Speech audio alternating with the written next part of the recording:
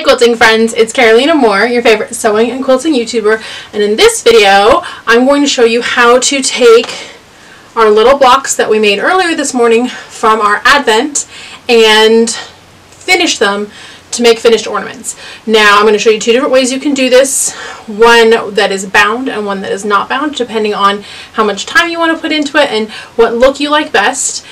And then at the end of this whole series, I'll show you how to take all 12 blocks and turn them into a mini quilt. So it's up to you.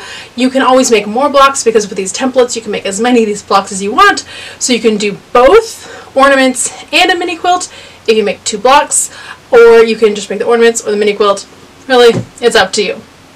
All right, you ready? Let's get started.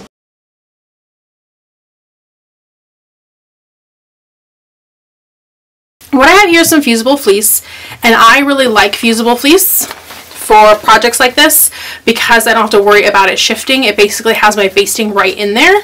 It's like a thin batting and it has a fusible web on one side. And when you feel it, you'll be able to feel one side is smooth and one side has either bumps or in this case, it's like a little sprayed on web on there. So what I'm going to do is with my iron, I'm going to iron these right on. Now, when you iron blocks on, you do want to be careful because if I put my iron right on here, what would happen? I would get this fusible right on my iron and I don't want that at all. So you can take a thin piece of paper. Um, I have here just a silicone mat or silicone sheet. This is to protect your surface when ironing. There we go.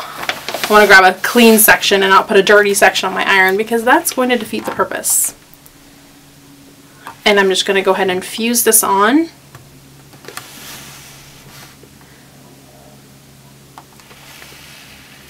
Now when you do this, you do not want to pull the silicone off right away because the fusible is still melted so it's going to be a little liquidy and we want to let it cool a little bit before we peel it off because always that liquidy um, adhesive could get create strings um, it'll be more difficult to get off of our mat so we're just going to let it cool off before we peel it off. Okay this feels pretty cool and I can just peel it off and it was not leaving any adhesive behind on my silicone. All the adhesive you can still feel it on here. It's just smoother now. So there's two different ways we can finish this block. One is a little simpler and quicker, and the other is going to have a binding on the outside, which is going to give it a pretty frame. Both are going to look great, and I'm going to show you both. We'll do the quick and easy method with our two-tone blocks. So I'm just going to line this up and I can actually line it up with the ruler and it's going to square up to three and a half inches.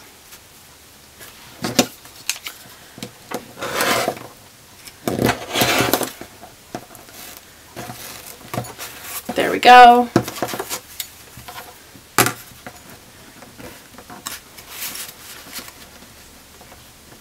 Three and a half inches.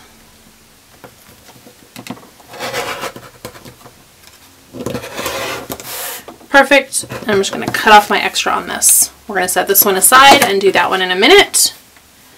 And I have my block squared up to three and a half inches. Now anytime you cut batting or fleece, you get it kind of embedded in your mat, and that's okay. I'm just going to use my finger and I can just rub most of it right out.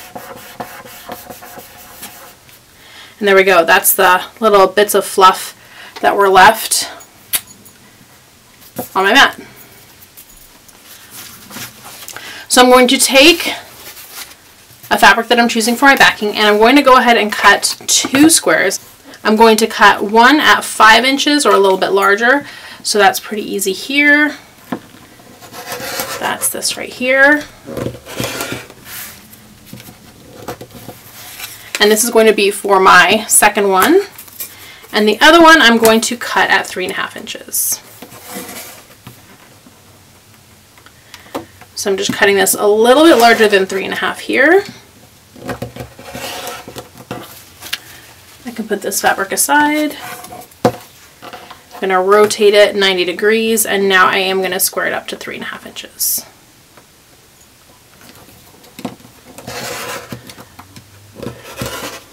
There we go. I know that one is three and a half inches square. I can take this piece and this piece, put them right sides together. And I'm going to go ahead and stitch all the way around. I want to leave myself, if I can, a good two inches on one side for turning. And I'm going to pick, in this case, a side that doesn't have any seams on it. If you have a choice for a side with a seam on it or a side without a seam on it, pick the side without a seam on it to do your turning. Now you can just stitch it up like this if you want to make a coaster, but if you want to use it as an ornament, you probably want to add some kind of hanger. And this is directional. I've got my trees facing up and my presents facing up. So this is going to be the top of my ornament. And I'm just going to create a loop. And if you want all your loops the same size, just go ahead and measure. So this loop is going to be one and three quarters inch. I like that. Put it right on there.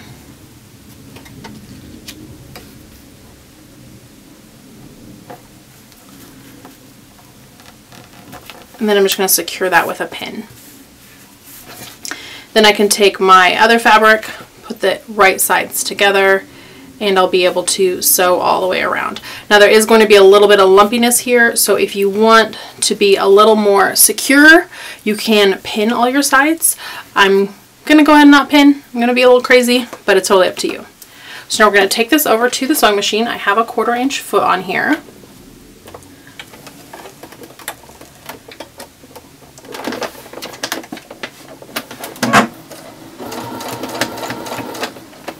When you get to a corner, you want to stop a quarter inch away from the edge, lift up, turn, put your presser foot back down, and then keep stitching.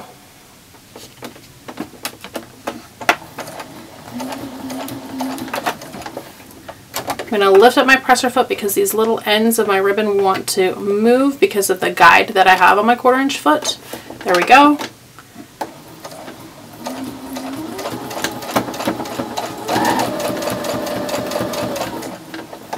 quarter inch, quarter inch away from the edge, lift, turn, press your foot down.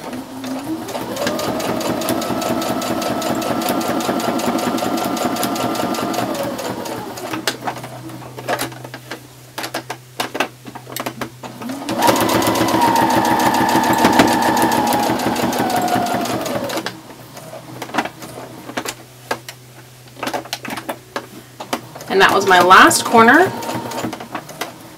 So I'm just going to stitch a little bit, lift my needle up, and then I can cut off my threads here.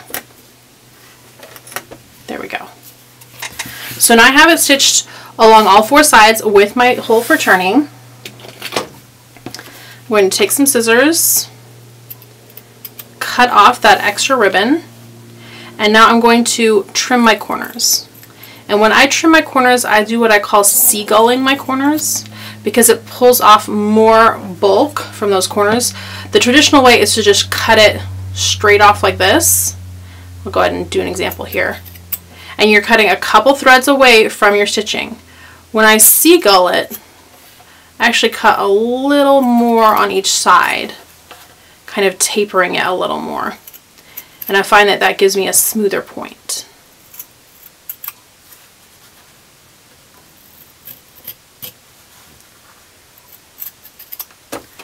There we go. So now I have my corners clipped and I'm ready to turn this right side up.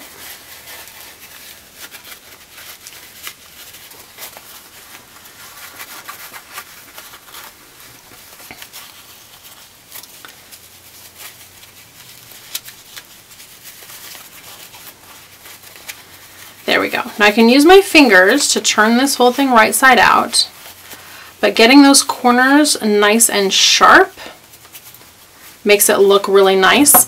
And it's really tempting to grab your scissors because it have, has a nice good point and poke at those corners.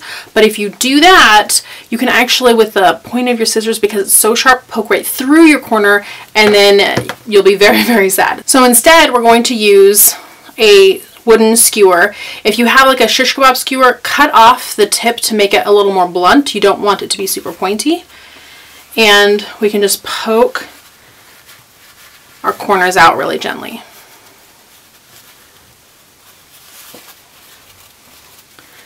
There are lots of great point turners out there. That purple thing is a really good one. That one has a nice hook in it that is also great for getting into the corners. But there we go. We have all of our corners turned nice and sharp. And now we're going to tuck in our seam allowance just like that.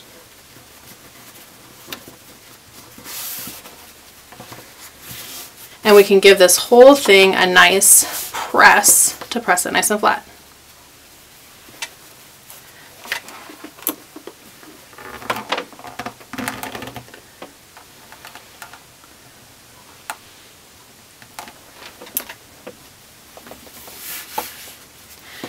I have some threads here. I'm just going to pull on those threads so that I can find the ends of them and then trim them up close.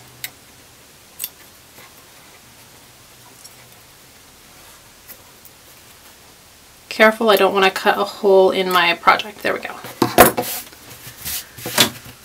So now I can stitch all the way around and that'll actually just finish up my ornament. You will have some stitching that overlaps, so I want to make sure that my overlapping stitching is somewhere where it's going to be less visible. In this case, I'm going to have it right down here on the bottom. I think it's going to be least visible there, so that's where I'm going to start my stitching. And you can choose how far from the edge you want to stitch. I'm going to go pretty close, about an eighth of an inch.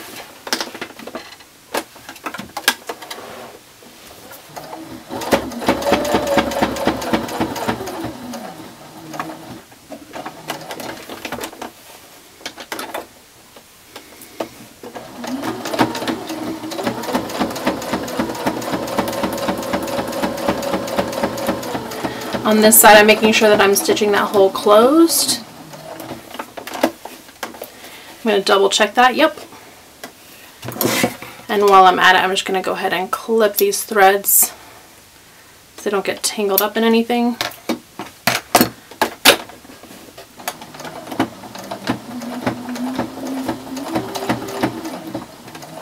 I'm again going to lift up to allow my ribbon underneath my quarter inch guide that I have on this foot.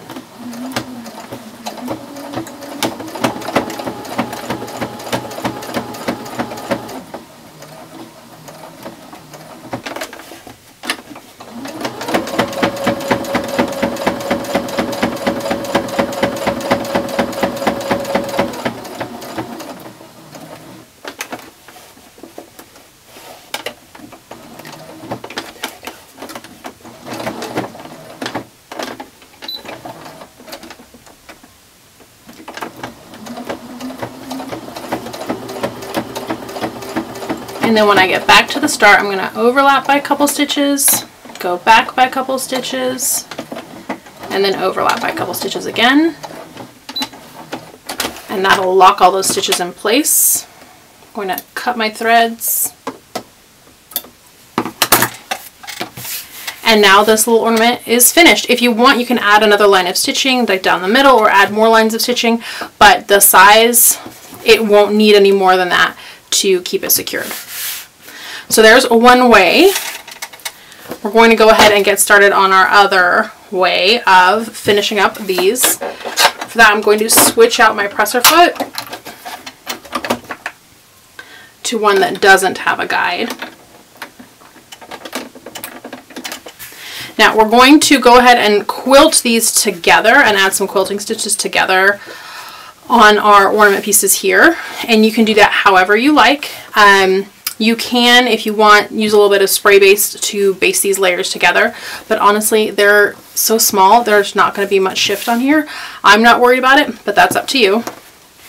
And I'm going to just add some stitching.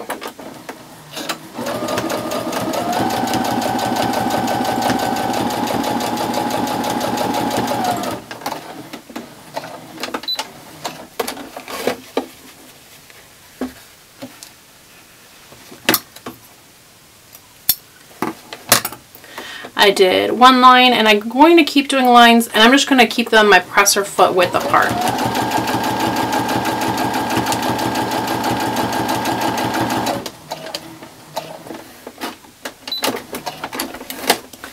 And this is just the way that I'm choosing to do it. If you have a full batting between these layers, you might need a walking foot because there'll be more shifting with a thick batting. But because this is just fusible fleece, I'm not worried about any shifting.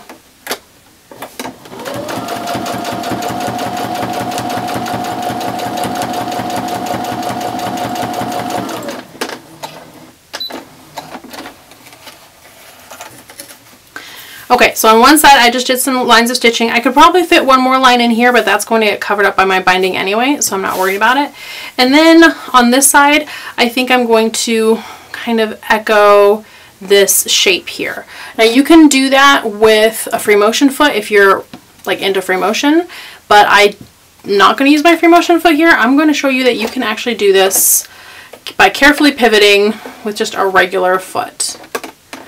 So I'm starting over here. I'm going to start right here. I could bury these threads, but we want to keep this still fairly simple. So I'm just doing a couple stitches forward, a couple stitches back, and a couple stitches forward on top of my previous stitching. And that's going to keep this thread from unraveling. And then I'm just taking a couple stitches, lifting and pivoting,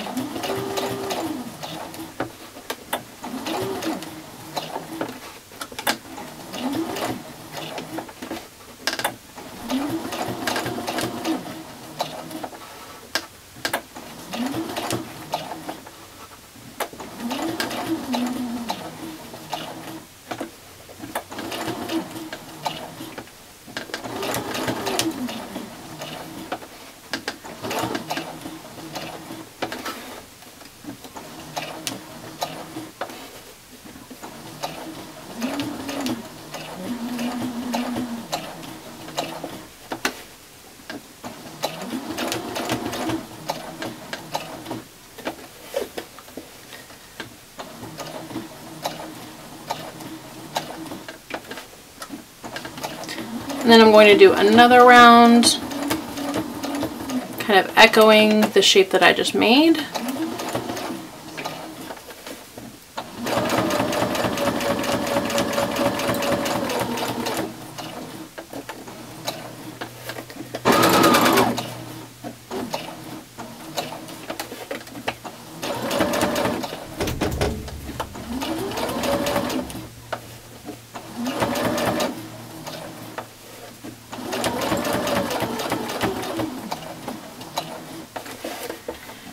And this side I'm just going to take the threads to the edge. I don't have to worry about threads on the edge. Those are all going to get caught up in the binding.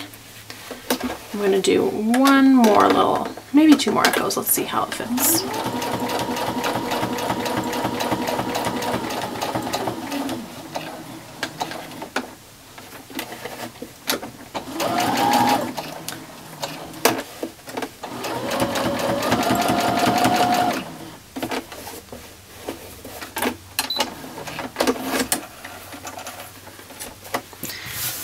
There we go. I'm going to go ahead and clip my threads. Get all this out of the way. There we go. Lots of threads going on back here. There'll be more chance to get rid of some in a minute. Okay, so I did a really structured on one side, a little more organic on the other side. However you stitch this is up to you. This is all decorative. It's not really designed to keep the layers together so much. It does keep the layers together, but on a piece this small, we don't really need to worry about the layers.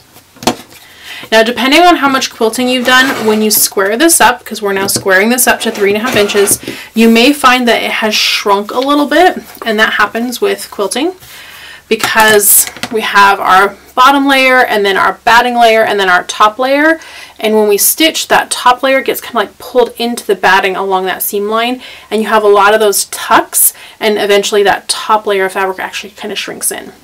So you can kind of see that here where the fabric, see along that stitch line, it's kind of tucked in and that can actually shrink the size of your overall project. So if this isn't exactly three and a half inches, that's okay. If you want your finished ornaments to all be three and a half inches, you want to center this within and then trim it up to three and a half inches, which means that you'll have a little bit of your fleece showing here on the edge, but that's gonna get covered up by the binding, so it's totally fine. So I have my binding fabric. I'll need about 15 inches. I'm gonna fold this in half. And this is actually about 20 inches, so that's perfect. going to line up one edge along here, and I'm not doing a biased edge binding. A biased edge binding would be across the bias. We're not worried about that here.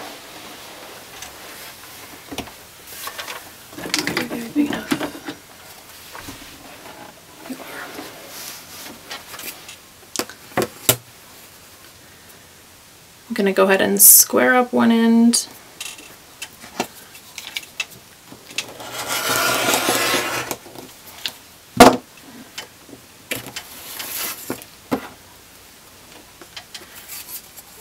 And then cut a two inch piece.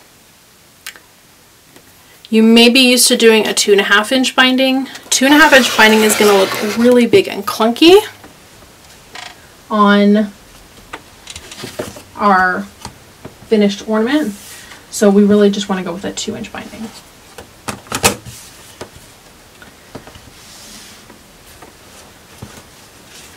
So I'm going to take my binding piece,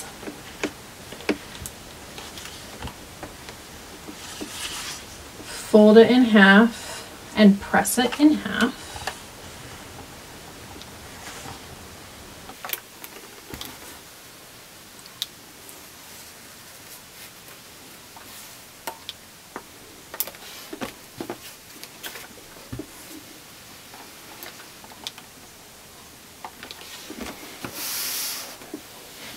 So now we can stitch this all the way around and it's going to be a little easier if we go ahead and start our corner here before we bring it to the sewing machine. So I've got this raw edges lined up. I pivoted away from the mini quilt and then back towards the mini quilt. And that gives me a perfect little mitered corner with this flap. I'm going to move the flap out of the way bring it to my machine and get this corner stitched.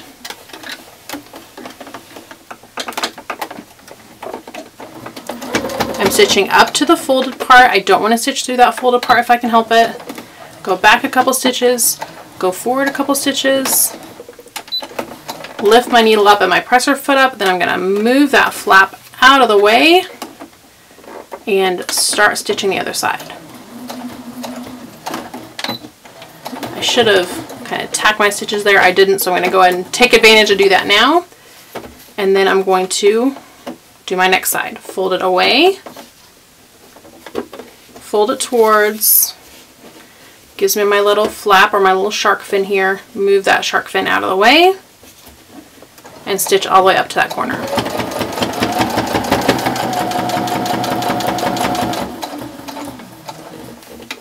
Couple stitches back, couple stitches forward, needle up, presser foot up, move the shark fin out of the way, couple stitches forward, couple stitches back.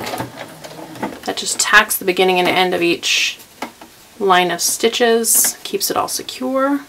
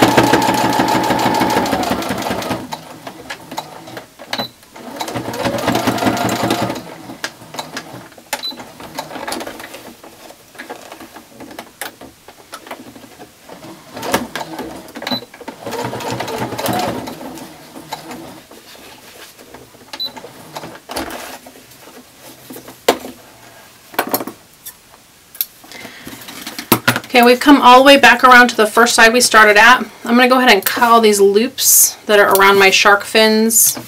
If I cut them now, then they won't be in my way later. I've got some extra threads, clip those and get them out of the way. So now what I need to do is I need to finish this side. Now this is not a lot of space to do a traditional finish of a binding and so we're not going to. What I'm going to do is I'm going to clip the edge here because I have this selvage and I don't want the selvage. And I'm going to fold this in a quarter inch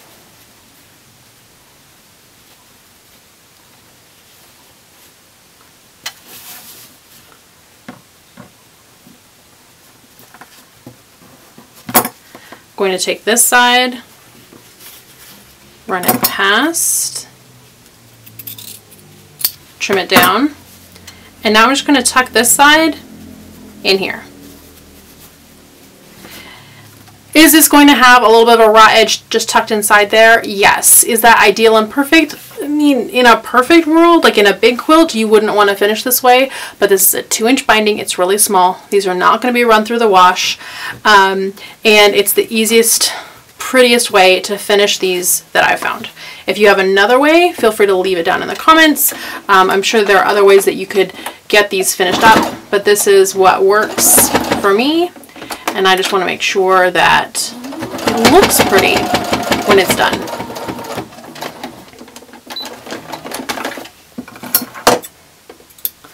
So now I've just stitched that all the way across and my binding is attached. One last thing we want to do on our sewing machine before we move to hand sewing is to add our ribbon. So if we want the same ribbon, we'll want one and three quarter inch, right about there.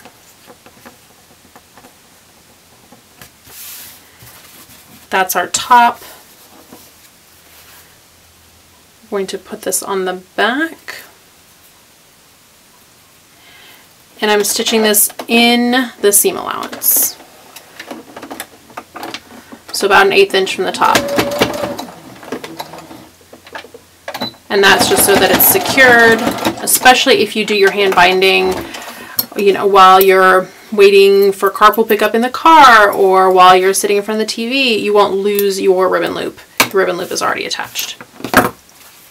So now we're going to get ready to attach this to the back. You can do this by machine or you can do it by hand. It's going to be up to you, the amount of time you have and what you want it to look like when you're done.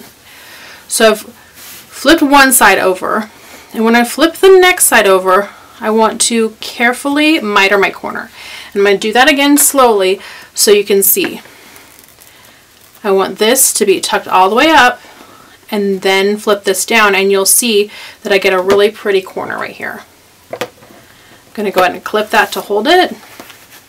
We'll do the same on the other side. I'm bringing this all the way up.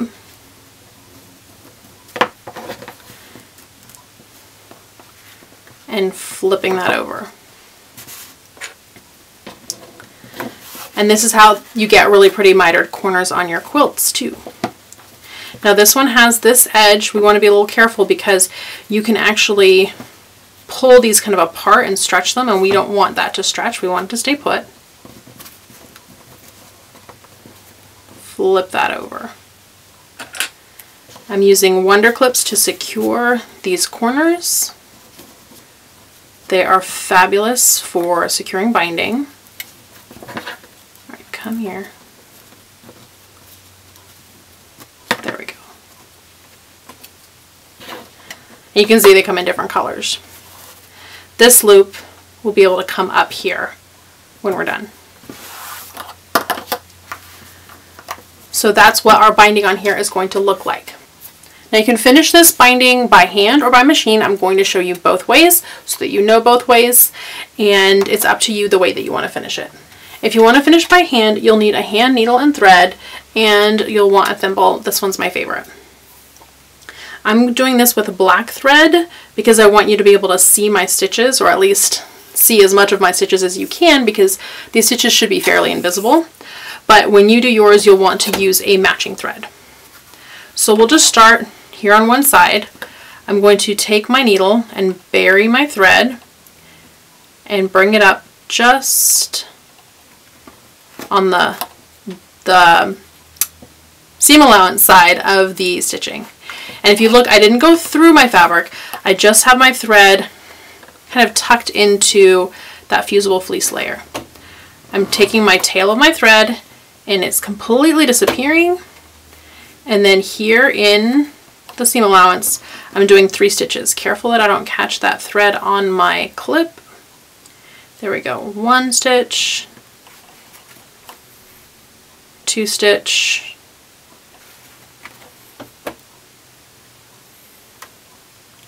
and there's a third stitch.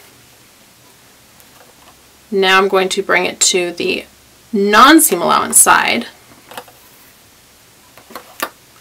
and I'm going to bring the binding back.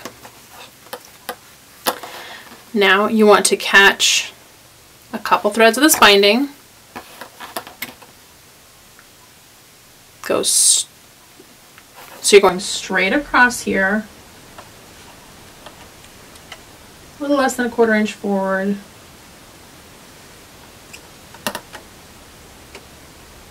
grab a couple more threads, right back in,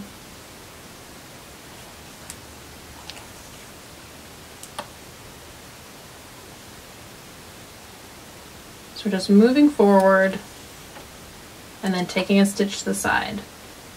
Moving forward, taking a stitch to the side. So as we get up towards our corner, we're going to remove our clip. And we're just going to keep going. You're not going through all the layers, you're just going through this back layer.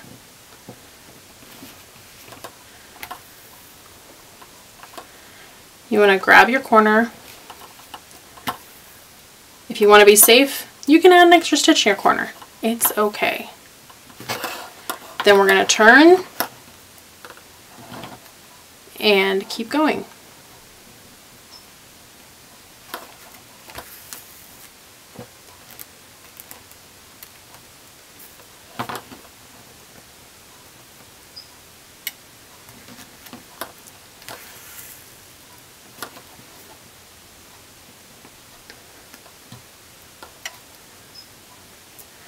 Don't judge me too harshly on my stitches here. I'm making sure that you, the camera, get the best angle, which means that I do not have the best angle on my stitching. So you'll go like this all the way around when you need to end your thread because your thread's getting too short or because you made it to the other side. You're just going to do one, two, three stitches on that third one, oop, come here needle, you can loop through your, or go through your loop to make it a knot. Then you'll bury this end of your thread in your batting. Again, you are not going through, you're not seeing this at the front.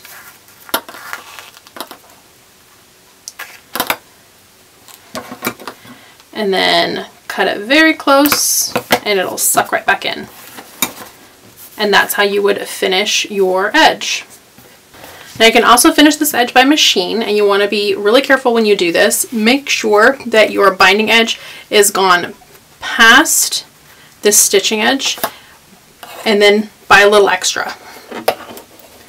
And all you're going to do is take this to your machine and stitch right in that ditch between your quilt and your binding.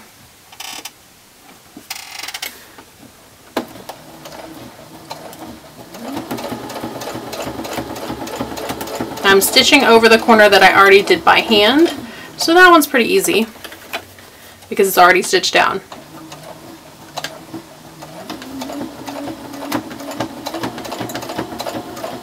If you get off a little bit, just get yourself back on track. Okay, so when you get up to a corner, you want to remove your clip and be very careful that this binding that you're coming up to doesn't flip forward on you.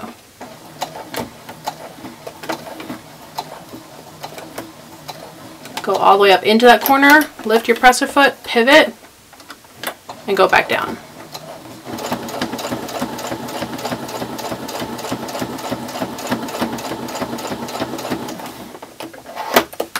Same thing again.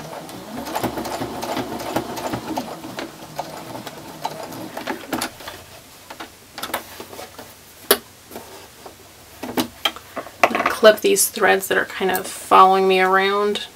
There we go.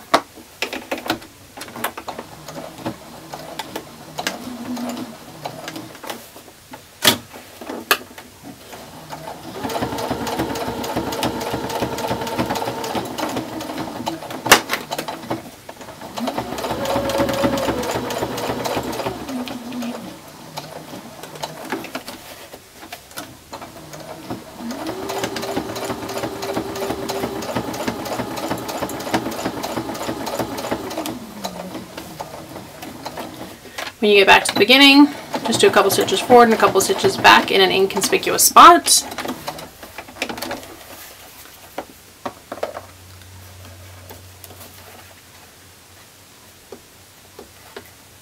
You can clip your threads and then just double check on the back that you've caught the binding at least almost everywhere. If you have like a small spot where you missed it, you're fine. But on the front, all your threads should be nice and hidden. So that, there we go. I had some loose threads. Got loose threads everywhere here.